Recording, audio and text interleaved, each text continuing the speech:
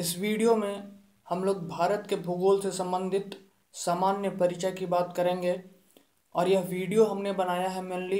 कि आप अपने आप को जज करें आप अपने आप को टेस्ट करें कि आपकी तैयारी कितनी है और कितनी आपको और तैयारी करनी है इस वीडियो में हमने अब तक एग्ज़ाम्स में जितने भी क्वेश्चंस पूछे गए हैं भारत के सामान्य परिचय से संबंधित उन सभी प्रश्नों को हमने शामिल किया है और साथ ही जो बहुत ही महत्वपूर्ण इम्पोर्टेंट फैक्ट्स हैं उन सभी को हमने शामिल किया है हमें पूरा विश्वास है कि अगर ये वीडियो आप अंत तक देखते हैं तो आप उन सभी सवालों के जवाब देने में सक्षम हो जाएंगे जो किसी भी एग्ज़ाम में पूछे जाते हैं या अब तक पूछे गए हैं इस सामान्य परिचय में हम लोग मेनली भारत के क्षेत्रफल से संबंधित भारत के अच्छांशीय विस्तार से संबंधित भारत और कर्क रेखा से संबंधित मानक समय से संबंधित दुरस्त बिंदु मतलब भारत के दूरस्थ बिंदु क्या क्या हैं नॉर्थ साउथ ईस्ट वेस्ट सीमावर्ती देश कौन कौन से हैं उनसे कितनी सीमा जुड़ती है क्या है इन सभी तथ्यों पर हम विचार करेंगे और यह वीडियो इसलिए भी बहुत महत्वपूर्ण हो जाता है क्योंकि हम लोग भारत का सामान्य परिचय जान रहे हैं अगर आप एक यू यूपीएससी पेरेंट हैं या फिर स्टेट एस की तैयारी कर रहे हैं या किसी भी एग्ज़ाम की तैयारी कर रहे हैं तो भारत के बारे में इतनी जानकारी तो आपको होनी ही चाहिए आप भारत के नागरिक हैं फिर भी आपको ये सारी चीज़ें जाननी चाहिए अगर आप नए हैं हमारे चैनल पे तो प्लीज़ हमारे चैनल को सब्सक्राइब करें आए अब वीडियो शुरू करते हैं सो so, हमारा फर्स्ट क्वेश्चन है निम्नलिखित कथनों में से कौन से भारत के बारे में सही हैं फर्स्ट स्टेटमेंट इज़ भारत विश्व का पाँचवा बड़ा देश है सेकेंड इज़ भारत में संपूर्ण मानव जाति का लगभग सत्रह प्रतिशत जनसंख्या है थर्ड भारत विश्व के कुल क्षेत्रफल का लगभग 2.4 प्रतिशत भाग अधिकृत किए हुए है फोर्थ संपूर्ण भारत उष्ण कटिबंध में स्थित है हम आपसे रिक्वेस्ट करेंगे कि आंसर आप अपने मन में रखें आप ज़रूर अटेम्प्ट करें इसे क्योंकि जब मैं आंसर बता दूंगा तो आपको सवाल इजी लगेगा बट उससे पहले आप अटेम्प्ट करेंगे तो आपके लिए बहुत फ़ायदेमंद होगा सो फर्स्ट स्टेटमेंट गलत है क्योंकि भारत विश्व में विश्व का पांचवा बड़ा देश नहीं है बल्कि सातवां बड़ा देश है और आपको पता होना चाहिए कि इससे पहले जो देश हैं जो भारत से छः बड़े देश हैं वो हैं रूस कनाडा चीन अमेरिका ब्राज़ील और ऑस्ट्रेलिया और अगर सेकंड स्टेटमेंट की बात करें तो सेकंड स्टेटमेंट बिल्कुल सही है क्योंकि यह 2011 की जनगणना के अनुसार भारत का जनसंख्या जो है वह 17.5 प्रतिशत है संपूर्ण विश्व का थर्ड स्टेटमेंट भी सही है एंड फोर्थ स्टेटमेंट सही नहीं है फोर्थ स्टेटमेंट सही इसलिए नहीं है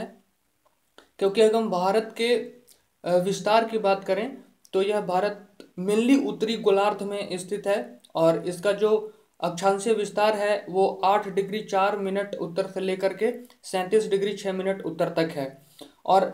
उष्ण कटिबंधीय क्षेत्र जो होता है उष्णकटिबंधीय क्षेत्र मिलने साढ़े तेईस डिग्री उत्तरी अक्षांश से लेकर साढ़े तेईस डिग्री दक्षिणी अक्षांश के मध्य को हम लोग उष्णकटिबंधीय क्षेत्र कहते हैं सो so, इसका आंसर हो जाएगा ओनली टू एंड थ्री इसका आंसर है ओनली टू एंड थ्री आप एक्सप्लेनेशन देख सकते हैं क्योंकि जो भी चीज़ें हमने बोल दी अगर आपको ध्यान न रहे तो आप ये वीडियो पॉज करके ये चीज़ें नोट भी कर सकते हैं नेक्स्ट इज कर्क रेखा के संबंध में निम्नलिखित में कौन से कथन सत्य हैं फर्स्ट स्टेटमेंट इज यह भारत के सात राज्यों से होकर गुजरती है सेकंड स्टेटमेंट इज यह भारत के उत्तर पूर्व के दो राज्यों त्रिपुरा और मिजोरम से होकर गुजरती है so first statement is wrong क्योंकि कर्क रेखा जो है वह सात नहीं बल्कि आठ राज्यों से होकर गुजरती है और वह राज्य भी आपको याद रखने चाहिए वो राज्य हैं गुजरात राजस्थान मध्य प्रदेश छत्तीसगढ़ झारखंड वेस्ट बंगाल त्रिपुरा और मिजोरम हमने पश्चिम से पूरब की ओर आपको ये राज्य बताएं ये क्रम भी आपको ध्यान होना चाहिए और सेकंड स्टेटमेंट सही है क्योंकि नॉर्थ ईस्ट के सिर्फ दो ही राज्य त्रिपुरा और मिजोरम से ये गुजरता है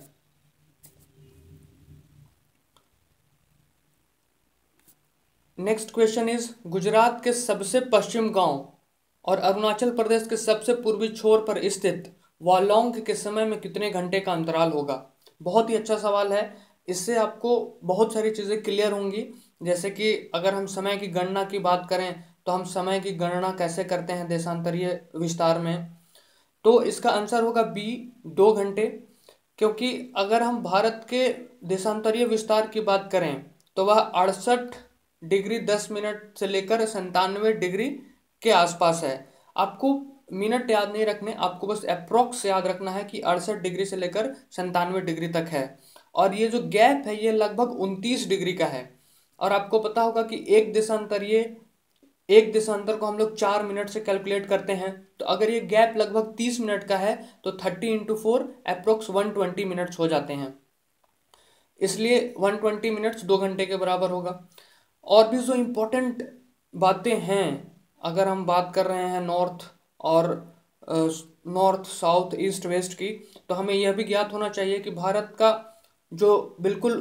नॉर्थ है और जो साउथ है उसके बीच का जो डिस्टेंस है वो तीन हज़ार दो सौ चौदह किलोमीटर है आपको भारत का संपूर्ण क्षेत्रफल भी ध्यान रखना चाहिए जो कि बत्तीस लाख सतासी हज़ार दो सौ तिरसठ वर्ग किलोमीटर है और जनरली ये पूछ लिया जाता है कि इंडिया तो सेवन्थ पोजीशन पे है लेकिन एट्थ पोजीशन पे कौन सा कंट्री है तो एट्थ पोजीशन पे भी आपको ध्यान रखना चाहिए कि अर्जेंटीना है और एक और इंटरेस्टिंग बात है कि ब्राज़ील जो है वो फिफ्थ पोजीशन पे है सभी में चाहे आप जनसंख्या की बात करें या क्षेत्रफल की दृष्टि से बात करें ब्राज़ील फिफ्थ पोजीशन पे है दोनों में ये बिल्कुल ध्यान रखें आप फोर्थ क्वेश्चन इज भारतीय मानक समय आईएसटी निम्नलिखित स्थानों में से किसके समीप से लिया जाता है so the answer is A Allahabad Naini हो सकता है ये आप सबको पता हो फिर भी हमें यह ध्यान रखना चाहिए कि जो आई है वो साढ़े बयालीस डिग्री पे है मीन्स बयालीस डिग्री तीस मिनट पे है और यह ग्रीनविच माध्य समय यानी कि जीएमटी जो है जीएमटी से पाँच घंटा तीस मिनट आगे है और अगर हम बात करें कि भारतीय मानक समय आईएसटी भारत के कितने राज्यों से होकर गुजरता है जो कि बहुत ही महत्वपूर्ण सवाल बनता है तो यह पांच राज्यों से होकर गुजरता है हो सकता है किसी एग्जाम में आपसे राज्य भी पूछ लें तो वो राज्य हैं यूपी एमपी छत्तीसगढ़ ओडिशा और Andhra Pradesh fifth question is Bharat का दक्षिणतम बिंदु इंदिरा पॉइंट है भारत का सबसे पूर्वी राज्य अरुणाचल प्रदेश तथा सबसे पश्चिमी राज्य गुजरात है थर्ड स्टेटमेंट इज भारत का सबसे उत्तरी बिंदु इंदिरा कॉल है सो so, इसमें सभी स्टेटमेंट सत्य हैं अगर हम दक्षिणतम बिंदु की बात करें तो वह इंदिरा पॉइंट है और यह बड़ा निकोबार में स्थित है ये जितने भी स्टेटमेंट है ये किसी न किसी एग्जाम में पूछे गए हैं एज इट इज़ हमने यहाँ पे ऑप्शन हटा करके इसे स्टेटमेंट बनाया है ताकि आपका दिमाग और तेज़ हो और आप और अच्छे से इस चीज़ को समझ सकें अगर हम भारत के उत्तरी बिंदु इंदिरा काल की बात करें तो यह जम्मू और कश्मीर में स्थित है सो इसके सभी आंसर सत्य हैं दक्षिणतम पॉइंट हमने आपको बताया ग्रेट निकोबार में है अथवा बड़ा निकोबार भी उसे कहते हैं उत्तरी बिंदु उत्तरी बिंदु आपको ध्यान रखना चाहिए उत्तरी बिंदु जो है इंदिरा कॉल वह सियाचिन ग्लेशियर के निकट है और वह जम्मू एंड कश्मीर में स्थित है पूर्वी बिंदु अरुणाचल प्रदेश में स्थित है और पश्चिमी बिंदु जिसे गौर माता अथवा गुहार भी कहते हैं वह गुजरात में स्थित है और हमने पूरब से पश्चिम का आपको डिस्टेंस भी बताया इंडिया का जो दो किलोमीटर है सिक्स क्वेश्चन इज निम्नलिखित कथनों में से कौन से सही हैं first statement is Paschim Bengal Bhutan तथा नेपाल की सीमाओं से लगा हुआ है सेकेंड इज मिजोरम बांग्लादेश तथा म्यांमार की सीमाओं से लगा हुआ है थर्ड इज भारत और पाकिस्तान के मध्य अंतर्राष्ट्रीय सीमा का निर्धारण मैक मोहन रेखा द्वारा किया जाता है so first and second statement सही हैं थर्ड स्टेटमेंट सही नहीं है क्योंकि भारत और पाकिस्तान के बीच मैकमोहन रेखा नहीं बल्कि रेड क्लिफ रेखा है मैकमोहन भारत और चाइना के बीच का है फर्स्ट और सेकेंड स्टेटमेंट दोनों सही हैं अगर आपके पास अभी मैप हो तो आपके लिए बहुत अच्छा होगा क्योंकि एग्जामिनेशन हॉल में आपको मैप नहीं मिलेगा यू हैव टू इमेजिन तो अगर आप अभी चाहें तो वीडियो पॉज करके आप मैप लें आप मैप को देखें कि पश्चिम बंगाल भूटान तथा नेपाल के सीमाओं से जुड़ा है कि नहीं है मिजोरम बांग्लादेश और म्यांमार के सीमा से जुड़ा है कि नहीं है so first and second statement सही हैं एक और इंटरेस्टिंग बात मैं आपको बता दूं कि भारत के कुल सत्रह राज्य ऐसे हैं जो पड़ो पड़ोसी देश के सीमाओं से जुड़े हुए हैं सर ये सवाल डायरेक्टली एग्जाम में पूछा जाता है कि कितने ऐसे राज्य हैं भारत के जो पड़ोसी देशों से जुड़े हुए हैं सो so, हमने आपको बताया कि रेडक्लिफ रेखा भारत और पाकिस्तान के मध्य का है डुरंट रेखा भारत और अफगानिस्तान के मध्य का है मैकमोहन रेखा भारत और चीन के मध्य का है ये सारे स्टेटमेंट भी एग्जाम में डायरेक्टली पूछे जाते हैं सेवेंथ क्वेश्चन इज निम्नलिखित में से किस राज्य की सीमा बांग्लादेश से नहीं मिलती है ए मेघालय बी सॉरी इसमें सारे ऑप्शंस ए ए लिखे गए हैं इसमें है मेघालय त्रिपुरा मणिपुर और मिजोरम ऐसा टाइपिंग के दौरान प्रॉब्लम हो जाती है सो so, प्लीज़ अगर आपको हमारा वीडियो पसंद आता है तो आप कमेंट सेक्शन में बताएं कि हमारा प्रयास कैसा है क्योंकि ये इतना इजी वर्क नहीं है we are doing because we love to help हम लोगों को काफ़ी अच्छा लगता है कि हम लोगों से अपना नॉलेज शेयर करें सो सेवेंथ का आंसर है सी मणिपुर अगर हम बात करें मणिपुर मणिपुर से संबंधित तो बांग्लादेश की अंतर्राष्ट्रीय सीमा जो है वह पांच राज्यों से लगती है जो हमने आपको सही बताया अभी वो पांच राज्य है पश्चिम बंगाल असम मेघालय त्रिपुरा और मिजोरम और एक और इंटरेस्टिंग बात यह है कि बांग्लादेश ऐसा कंट्री है जिससे सबसे अधिक सीमा भारत से जुड़ी हुई है वो लगभग चार हज़ार छियानवे किलोमीटर सीमा भारत के साथ शेयर करता है जो कि मैक्सिमम है किसी भी उसके पड़ोसी देश का और अगर हम मिनिमम बात करें तो मिनिमम अफगानिस्तान का है जो कि 106 किलोमीटर है सेकंड स्टेटमेंट था मणिपुर से सॉरी मणिपुर इसका आंसर है और मणिपुर राज्य की सीमा बांग्लादेश से नहीं मिलती है मणिपुर म्यांमार के साथ अंतर्राष्ट्रीय सीमा बनाता है नेक्स्ट क्वेश्चन इज निम्नलिखित में से किस राज्य की सीमाएं भूटान राष्ट्र के साथ नहीं मिलती हैं सुधा सो so इसके ऑप्शंस हैं सिक्किम मेघालय अरुणाचल प्रदेश और पश्चिम बंगाल हम आपको बोल रहे हैं बार बार कि आप मैप प्लीज़ अपने माइंड में लाएं अगर आपके पास अभी मैप है तो मैप देखें नहीं तो आप गूगल पर सर्च करके मैप देखें इससे बहुत फ़ायदा होगा ये चीज़ें लॉन्ग टाइम आपके मेमोरी में रहेंगी एट्थ का आंसर है मेघालय मेघालय जो है वो मेनली भूटान के साथ नहीं लगता है अगर हम भूटान की बात करें तो भूटान के साथ भारत लगभग 700 किलोमीटर सीमा शेयर करता है ऐसे एग्जैक्ट आप ध्यान रखें तो 699 किलोमीटर है और मेनली सिक्किम असम पश्चिम बंगाल और अरुणाचल प्रदेश हैं जो कि भूटान से सटे हुए हैं ये भी डायरेक्ट एग्जाम में पूछा जाता है कि भूटान से कितने स्टेट भारत के लगते हैं तो चार स्टेट हैं सिक्किम असम पश्चिम बंगाल और Arunachal Pradesh ninth question is कौन से भारतीय राज्य की अधिकतम सीमा म्यांमार से स्पर्श करती हैं ऑप्शन है Manipur B Arunachal Pradesh C Mizoram D Nagaland इसका आंसर है डी नागालैंड अगर हम म्यांमार की बात करें तो म्यांमार के साथ भारत एक किलोमीटर अपना बॉर्डर शेयर करता है और इसमें मेनली चार राज्य हैं जो कि म्यांमार से सटे हैं म्यांमार की बॉर्डर से सटे हैं वो हैं अरुणाचल प्रदेश जो कि सबसे ऊपर है नॉर्थ ईस्ट में नागालैंड मिजोरम और मणिपुर जिसमें नागालैंड मैक्सिमम बॉर्डर शेयर करता है म्यांमार के साथ हमारा नेक्स्ट क्वेश्चन है भारत के निम्नलिखित राज्यों के समूह में से कौन सा समूह पाकिस्तान से सीमा बनाता है बहुत ही महत्वपूर्ण सवाल है और पाकिस्तान के साथ आए दिन कुछ न कुछ करंट में हमें बातें जानने को मिलती रहती हैं सो ये चीज़ें आपको ध्यान होनी चाहिए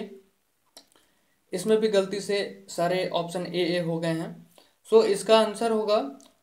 पंजाब जम्मू एंड कश्मीर राजस्थान तथा गुजरात जो कि सेकेंड है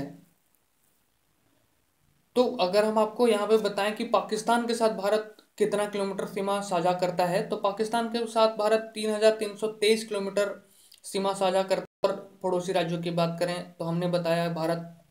भारत के साथ अफगानिस्तान सबसे कम बॉर्डर साझा करता है 106 किलोमीटर अगर चाइना की बात करें तो चाइना तीन हज़ार चार सौ अट्ठासी किलोमीटर साझा करता है जो कि बांग्लादेश के बाद दूसरा है क्योंकि बांग्लादेश सबसे अधिक सीमा साझा करता है फिर नेपाल है जो कि एक हज़ार सात सौ इक्यावन किलोमीटर साझा करता है ये जितने भी डेटा हम आपको बता रहे हैं यह गृह मंत्रालय की वार्षिक रिपोर्ट 2010-11 के अनुसार है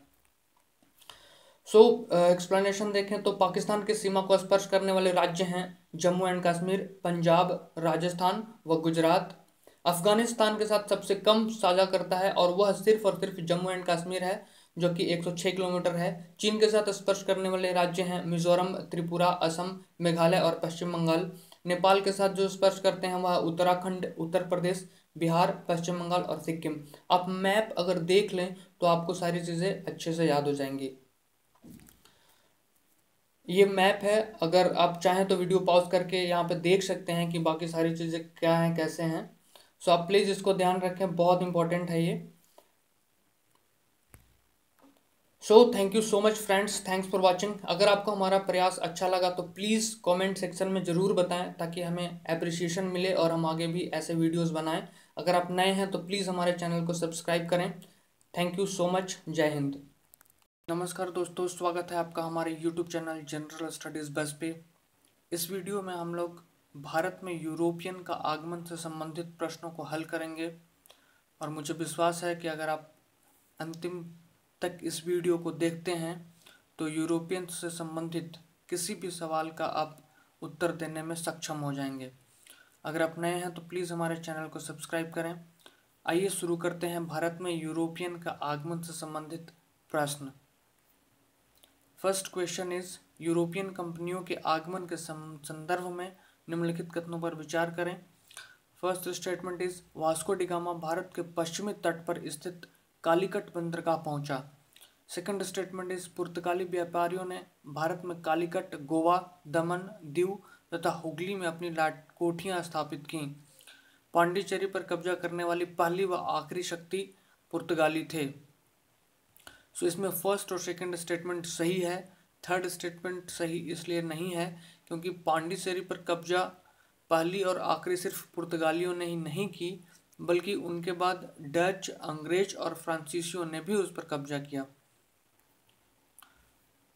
सो so, इसका आंसर है ए वन और वन एंड टू क्योंकि पांडिचेरी पर सर्वप्रथम पुर्तगालियों ने अपना उपनिवेश स्थापित किया था लेकिन उसके बाद यह डचों के नियंत्रण में आ गया था और उसके बाद अंग्रेज और फ्रांसीसी भी इस पर आधिपत्य स्थापित किए थे अंग्रेजों ने भी पांडिचेरी पर सत्रह में कब्जा किया और 1814 ईस्वी में जो पेरिस की संधि हुई उसके तहत इसे फ्रांस को सौंप दिया था सेकंड क्वेश्चन इज एक तरफ है समुद्री यात्री दूसरी तरफ है वो किस देश से आए इसका मिलान करना है सो so, आप वीडियो को पॉज करके आप इसका मिलान करें और प्लीज़ इसे ज़रूर से ज़रूर अटैम्प्ट करें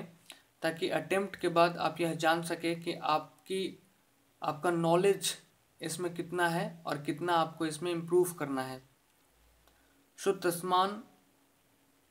उसके बाद है कैप्टन कुक उसके बाद है कोलंबस और डी में है वास्को डिगामा सो so, हम इसका आंसर देखते हैं तस्मान जो थे वो हॉलैंड के थे कैप्टन कुक जो थे ये ब्रिटेन के थे कोलंबस जो थे वो स्पेन से थे और वास्को डिगामा जो थे वो पुर्तगाल थे पुर्तगाल से थे so the answer is A Vasco da Gama जो कि पुर्तगाली यात्री थे उन्होंने भारत की खोज की थी ऑस्ट्रेलिया की खोज ब्रिटेन के कैप्टन कुक ने की थी हॉलैंड के तस्मान ने तस्मानिया और न्यूजीलैंड की खोज की थी और अमेरिका की खोज कोलंबस ने की थी थर्ड क्वेश्चन इज पुर्तगालियों ने भारत में प्रथम दुर्ग का निर्माण किस स्थान पर किया so the answer is B Cochin और इन्होंने 1503 ईस्वी में इसका निर्माण किया प्रथम दुर्ग का और उसके निर्माण करता थे अल्फांसो द अल्बुकर्क इनके द्वारा निर्माण किया गया था फोर्थ क्वेश्चन इज हॉकिंस के संदर्भ में निम्नलिखित कथनों पर विचार कीजिए 1608 ईस्वी में कैप्टन हॉकिंस अकबर के नाम जेम्स प्रथम का पत्र लेकर आया जिसका जहांगीर ने आगरा में स्वागत किया सेकंड स्टेटमेंट इज जहांगीर ने हॉकिंस को खान की उपाधि दी तथा चार सौ का मनसब भी दिया थर्ड इज हॉकिंस ने सूरत में व्यापारिक कोठी स्थापित करने की अनुमति मांगी so the answer is D ये सारे स्टेटमेंट सही हैं 31 दिसंबर 1600 ईस्वी को एलिजाबेथ प्रथम ने ईस्ट इंडिया कंपनी को पंद्रह वर्ष के एकाधिकार वाला व्यापारिक पत्र दिया था जिसे जेम्स प्रथम ने फिर अनिश्चित काल के लिए बढ़ा दिया था सोलह सौ आठ ईस्वी में हॉकिंस जहांगीर से मिला था और फारसी भाषा भाषा में बात की जिससे प्रभावित होकर जहांगीर ने उसे खान की उपाधि दी थी सोलह सौ पंद्रह सोलह ईस्वी के मध्य टॉमस रो जहांगीर के दरबार में जेम्स प्रथम का दूत बनकर रहा फिफ्थ क्वेश्चन इज अंग्रेजों ने सुनहरा फरमान किस राज्य के शासक से प्राप्त किया so the answer is C Golconda के सुल्तान और गोलकुंडा के सुल्तान से सॉरी 500 पेगोडा पर उन्होंने यह व्यापार किया था जिसके कारण गोलकुंडा बंदरगाह से स्वतंत्रता पूर्वक व्यापार करने की आज़ादी अंग्रेजों को मिल गई थी so the answer is C 1632 में अंग्रेजों को सुनहरा फरमान प्राप्त हुआ था इसके बाद कंपनी को अधिकार मिल गया था कि 500 पैगोडा वार्षिक कर के बदले वह गोलकुंडा के सभी बंदरगाहों से स्वतंत्रतापूर्वक व्यापार कर सकते थे सोलह सौ इक्यावन ईस्वी में शाह सुजा सुजा ने तीन हजार वार्षिक कर के बदले बंगाल में चुंगी मुक्त व्यापार करने की स्वतंत्रता इन्हें दे दी थी सिक्स क्वेश्चन इज संस्थापक से संबंधित या वास्तविक संस्थापक से संबंधित यह प्रश्न है कलकत्ता का संस्थापक जॉब जॉब चारनाक था सही है बम्बई का संस्थापक जेरोल्ड एंगियार था यह भी सही है थर्ड है मद्रास की स्थापना फ्रैंको मार्टिन ने की थी यह गलत है एंड फोर्थ इज पौंडीचेरी का प्रथम गवर्नर फ्रांसिस डे था यह भी गलत है मद्रास की स्थापना मेनली फ्रांसिस डे ने की थी अतः इसका आंसर ए होगा कलकत्ता का संस्थापक जॉब चौरनाक था फर्स्ट सही है बम्बई का संस्थापक जेरोल्ड एंगियार था यह भी सही है मद्रास का संस्थापक फ्रांसिस डे था जबकि फ्रेंको मार्टिल पांडिचेरी का प्रथम फ्रांसीसी गवर्नर था इसलिए थ्री एंड फोर गलत हैं सेवेंथ मैच करना है राज्य और उसके संस्थापक अवध के संस्थापक हैं सदाकत खां बुरहान मुल्क हैदराबाद के संस्थापक हैं आपके चनकलेज खां बंगाल के संस्थापक हैं मुर्शिद कुली खां और कर्नाटक के संस्थापक हैं Saadatullah Khan so the answer is B Awadh के संस्थापक सदाकत खां हैं हैदराबाद के चनकलेज खां हैं रुहेलखंड के वीर दाऊद एवं अली मोहम्मद खां हैं बंगस राज के मोहम्मद खां बंगस हैं बंगाल के मुर्शिद कुली खां हैं और कर्नाटक के सादतुल्ला खां हैं एट्थ क्वेश्चन इस फारूक शेर द्वारा सत्रह सौ सत्रह ईस्वी में जारी फरमान के संदर्भ में निम्नलिखित कथनों में से कौन सा असत्य है फर्स्ट ऑप्शन इस कंपनी को बंगाल के दीवान की अनुमति से कलकत्ता के पास अड़तीस गांवों को खरीदने की अनुमति मिल गई सही है यदि मुगल साम्राज्य के हित में हो तो कंपनी द्वारा शाही मुद्रणालय के उपयोग की अनुमति भी दी जा सकती है यह भी सही है